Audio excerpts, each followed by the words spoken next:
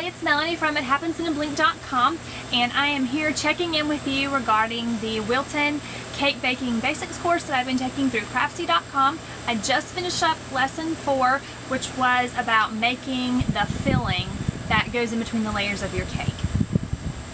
And the I've never actually made a filling to go in cake before. I've always just used frosting. Um, but this time I decided to go ahead and make the filling that she recommended and she made it look so easy on the video but she did have one like kind of big red flag in the way that she was preparing the filling so that you didn't actually wind up with your eggs being scrambled. Well I thought that I had followed exactly what she said but I, I did add a, wind up with some like scrambled egg consistency to the filling and I'm just going to be transparent and show you the filling. I think that it looks very good. I think it looks kind of gross. I did take a bite of it and you can kind of taste like the scrambled egg part in the filling.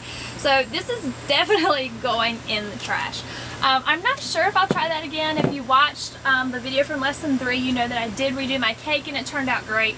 I don't know about the filling though. The filling was actually kind of time, time consuming to make. She even mentions in the video that it's a labor of love because you have to stand there and whisk it and you just have to be so precise.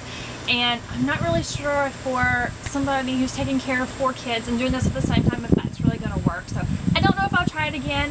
Um, some people in the forum had said that they were also using maybe pudding as um, something to put in between the layers. So I don't know. I'll let you know what I decide. But so far lesson four I think I would have gotten an F on this. So anyway Check back in with me after I complete lesson five. Bye guys.